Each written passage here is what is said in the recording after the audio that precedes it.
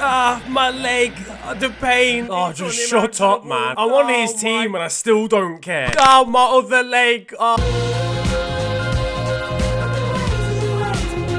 People with fresh looking haircuts can now be detained and questioned for 24 hours. Well, I guess your boy's getting away scot free. Yo, guys, it is your boy, quantifiably cataclysmic Trim Niran and welcome to FTW. This, of course, is the series where I bring to you the best and more frequently the worst of what football has to offer during the last seven days. But it's not just been a big week in the UK, it's been a big week for American football, so we're crossing over there now. Oh, God. Super Bowl 55 took place last weekend. Interestingly, if they have five more, it gets upgraded to a Mega Bowl.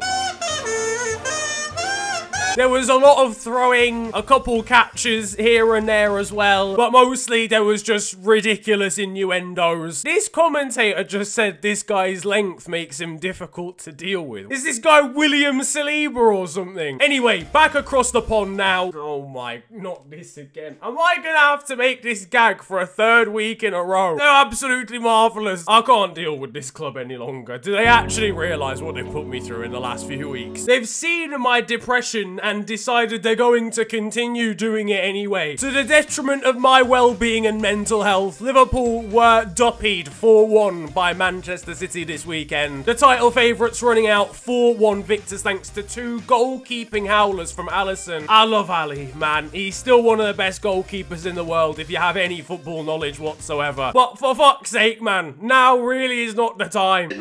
David role more central.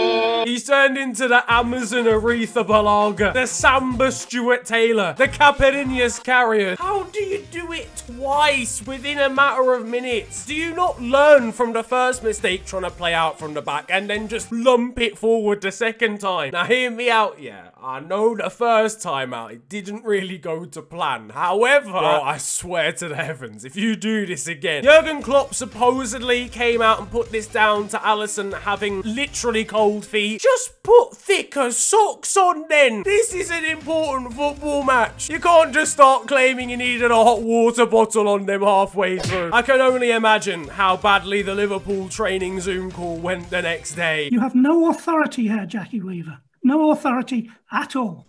She's just kicked him out.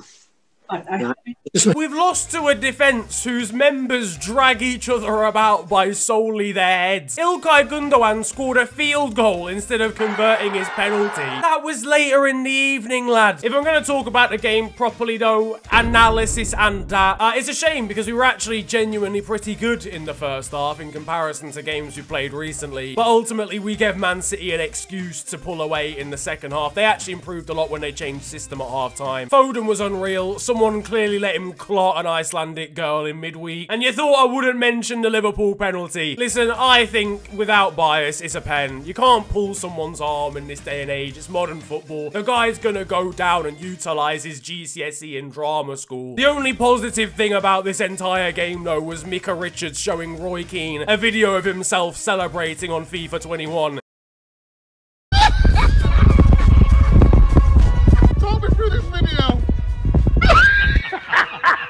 At least we've had the negatives in this video. It physically can't get any worse than that.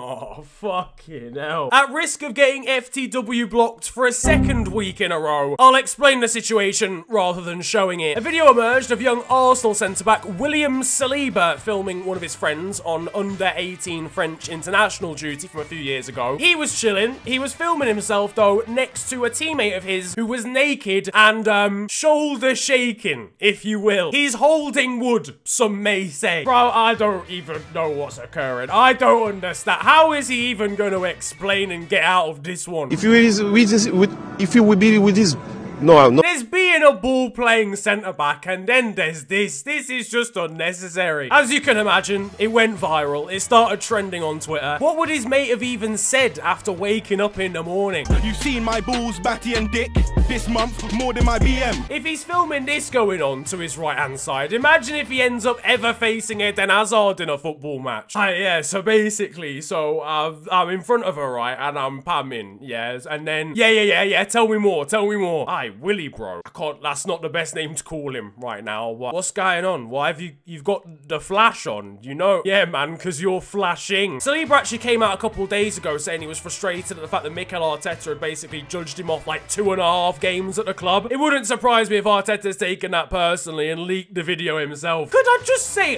why is everyone so calm in this video? There's OnlyFans content going on to your left-hand side and you're all just chill about it. Oh yeah, no, mate, don't worry about it. It's the fourth time this has happened this week. It's only Tuesday. Look, legit, all right, I've made jokes about this situation, but I have, I actually don't have any judgment whatsoever. Whether uh, it's to do with what people get up to in their own private time, whether it's to do with whatever he specifically gets up to, I actually don't care. What I do care about is seeing it on my timeline for no apparent reason. For the love of God, please don't share everything you do on Snapchat, all right? The snap streaks don't need to see this content. Keeping on with whatever theme this is right now, this series is just firmly in the bin. A thread on Twitter got a whole lot of attention about Divock Origi's ass. Now, it started with Jurgen Klopp grabbing it. The next picture was him shaking hands with Neil Warnock, who then shook hands with Sean Dyche, who then shook hands with David Moyes, and so on and so forth, all the way down. The Rock's involved. He met Barack Obama. He met the Queen, who then shook hands with Boris Johnson. So all in all, Boris Johnson has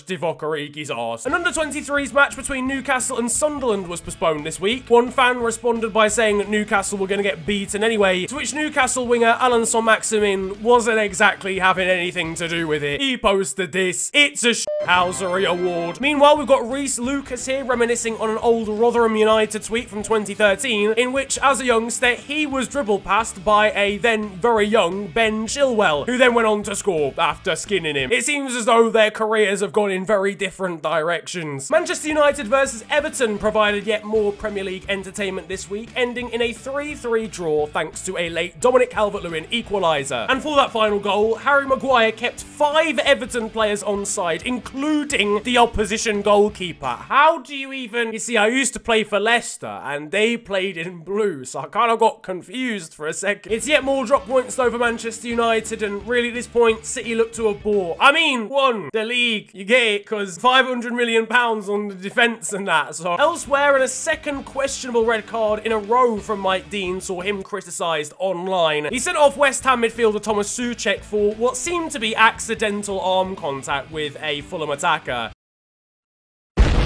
Fucking hell, that's unacceptable. What's going on? I've just... I, you've tried taking his head off. He could have been killed. Can you imagine you're in a flipping nightclub and you accidentally graze alongside someone? Mike Dean just flips out of nowhere, gives you a three weekend suspension. I think it's fair to say Specsavers knew where they stood on the situation. It really is poor from him, and I feel like if it was any other referee, we'd be seeing actual action taken here. If anything, to get him out of the spotlight, because he's getting some horrendous threats as well, which, by the way, are just ridiculous. It's a game, ladies and gentlemen. Hello all, and welcome to The Beautiful Game, the segment where we take a look at the poetic and brilliant side of the game that we love. We are back, by popular demand, for yet more glorious beauty.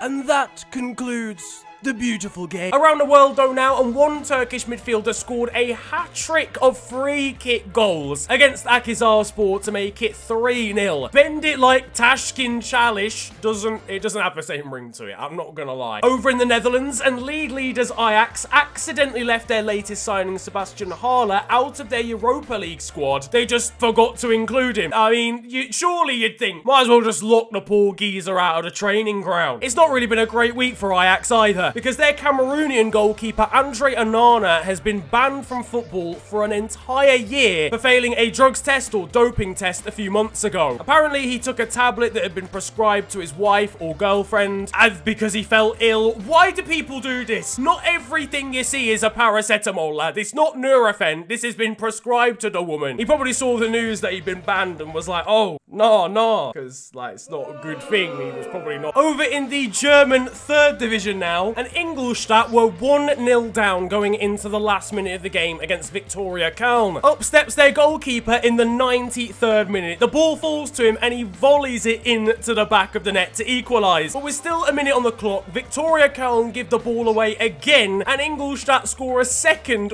one minute later to go from 1-0 down in the 93rd minute to 2-1 up in the 95th. Closer to home and even in youth games involving his sides, Neil Warnock will still give it his all to the referee. Consistent, referee. Don't give them all day, man.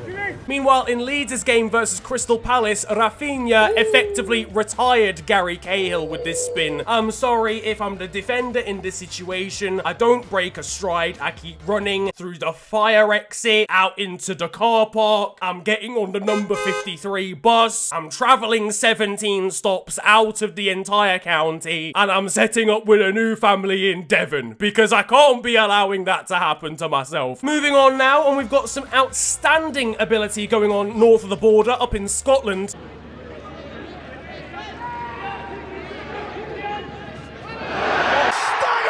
After beating Borussia Mönchengladbach over in the Bundesliga, German side FC Köln decided to replicate Borussia Mönchengladbach forward Marcus Thuram's celebration by lifting his corner flag up into the air. It's a mild one, but I'll still give them a Housery award for it. Staying on the German vibe, and we had perhaps the most interesting corner routine in modern footballing history. Back in Turkey now, in a game between Kayserispor and Erzurumspor, a player by the name of Yav Aka was sent off. Um, now, it wasn't for an original challenge that you can see in the background. He kicked out and got a yellow card, then proceeded to just try and scrap with everybody until he was sent off by the referee. Turns out he was loaned out by the club that he was playing against in the form of Kayserispor, as they suffer in a battle against relegation. I wonder if they loaned him out and tried to get him sent off on purpose to win the game. Get your tinfoil hats out. Meanwhile, there's a much more simple version of football going on over in Australia. Weezy can bend it. Bruce Cabell to make the impact.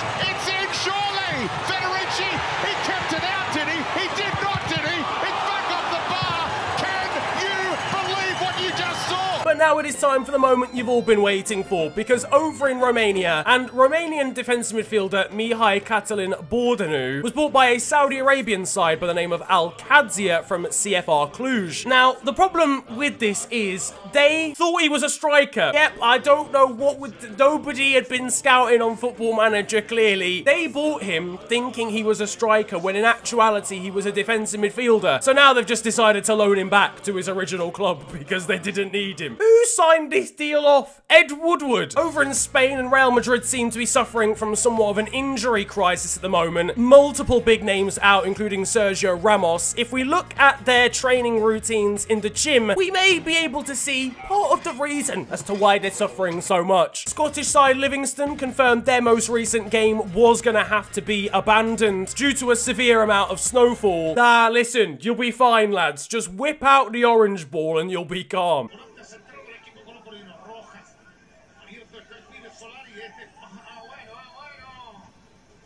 Meanwhile, there's crazy news coming out of Barcelona. Brazilian midfielder Philippe Coutinho will cost the Catalan Giants an extra 5 million euros if he plays seven more games for the club this season due to a clause that Liverpool put into his contract. They've decided they're going to actively try and avoid playing him this year because they can't afford to pay the extra 5 mil. Lionel, listen, if you're watching, yeah, just, uh, we know you're getting held against your will. It's okay, you can just leave. Oh!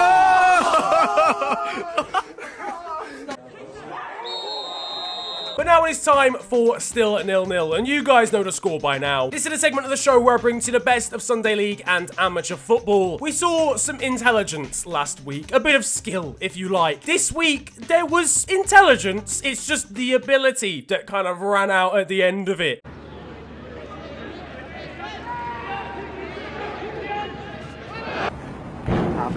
On to the weird stuff though now. A Brazilian winger by the name of Emerson Carioca was red carded and given an eight game ban for stripping down and waving his genitals about the gaff at the opposition while celebrating for a goal. No, William, calm down. You don't need to film it. Over in Serbia now, and in a friendly between Kolubara and Radnički Kragujevac, maybe, uh, a dog managed to get on to the pitch. Uh, it actually invaded the game four times. It got so bad that the referee decided to give it a red card, and when the dog refused to leave the pitch, the match had to be abandoned. Just put it on a lead, man. Over in Russia, and one non-league stadium was literally bombed during the course of the week. Thankfully, no one was hurt. It just did a lot of damage to the pitch, and I assume will cost a lot of money to restore. Honestly, I've seen worse penalty spots in Sunday League here. I reckon that's still playable. In a game between Fortaleza and Coritiba, a penalty was taken and saved by the Coritiba goalkeeper. However, he was adjudged to have leapt off his line, was yellow carded and hence red carded. An outfielder had to go in goal by the name of Sara Fiore, and he actually saved the retake. Unbelievable scenes there. And ending now on some pretty important topics that need to be talked about. First of all, we've got an investigation going on from the FA over a game between Morecambe and Tranmere, where Morecambe's Yann Songo'o was sent off red carded for apparently using a homophobic slur. Now, I personally think it's actually, if that's the case, I think it's great actually that the referee has just, like taken that upon himself and sent him off. That doesn't have a place in the game. What kind of message does it send to any young aspiring footballers who happen to be gay or bisexual? And it also threatens to continue this stigma of a lack of gay representation in football, generally speaking. There's not a single openly gay footballer in the UK, and stuff like this won't help. So it's good that it's punished. And there's equal disappointment when it comes to the progression of English football. In the case of Axel Tuanzebe, once again receiving a lot of racist comments, a lot of racially charged messages on social media after his game against Everton. John Terry sent his words of support. I don't think it'll mean too much to him with your record, John, but something's got to be done about this. It's getting out of hand. Every single time a black footballer makes a mistake, this is what's happening. There has to be genuine charges. If there's not going to be identification on social media, there has to be some sort of charge. You know, the police or whoever have to actually take this serious if it's ever going to progress. With that, that is going to be it for football this week, and I hope you have enjoyed it. If you have, then feel free to slap a like on the video, of course, and subscribe if you are new to the channel. You can also follow me on social media. It is at the official FNG on Twitter and on Insta. But it's been a pleasure ranting at you guys today. Have a wonderful day. Enjoy yourselves, and goodbye.